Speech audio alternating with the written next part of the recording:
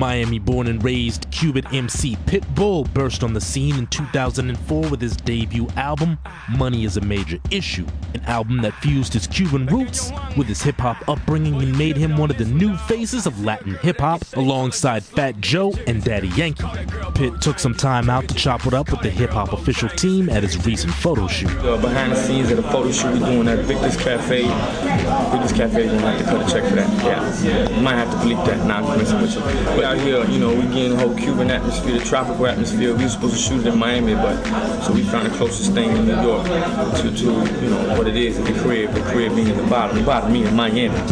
Riding off the success of his last album, Money is still a major issue, and the hit single Shake with the Ying Yang Twins and Everybody Get Up. Pitt is currently prepping his third album, El Mariel. New album is called El Mariel.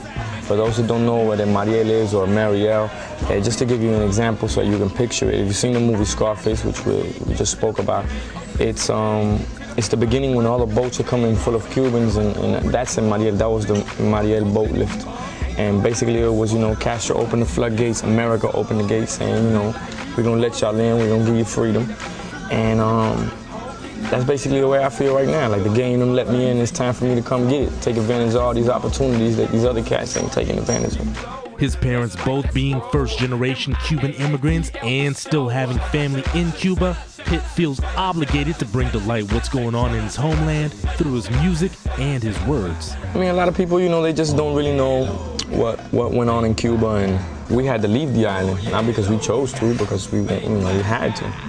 And our families had to leave everything they had back there due to the way certain people handle themselves or handle their business in Cuba.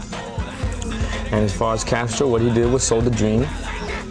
Oh, you know, you're gonna have a watch, you got a watch. And, you know, you got black beans, he's got black beans. You got a house, you got a house. Didn't work out that way, and basically what happened was he started taking people's properties and, and you know, killing people, basically.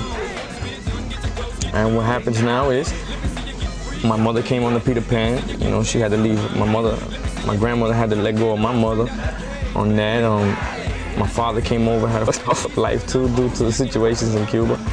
My grandmother, you know, a lot of people that went to university in Cuba got got their degrees, got everything, masters, da da da. They got to come over here and start from scratch now because it's not the same, you know, educational system.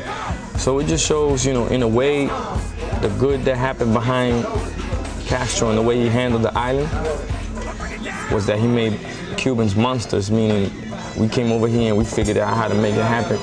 And we built our own city, which is now called Miami. Eager to get back to his music, this time around, Pitbull is dedicated to making El Mariel bang just as hard as both previous albums. And this time he plans to take his time and do it right.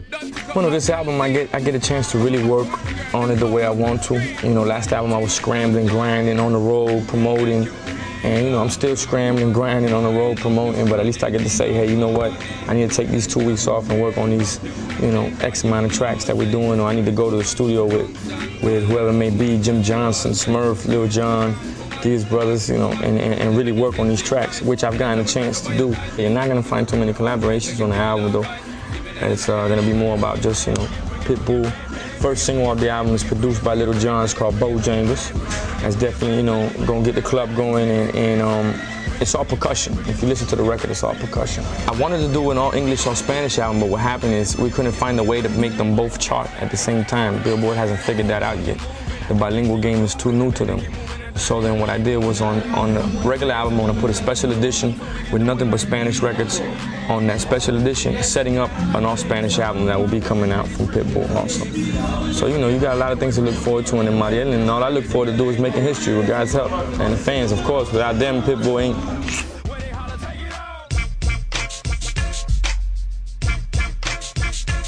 Three, oh, five.